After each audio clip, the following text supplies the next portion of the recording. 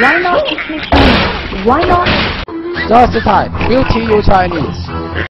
你好，Repeat after me，十。八。也许人类应该把更多的目光投向南极，在那里生活着一群可爱的小动物——企鹅。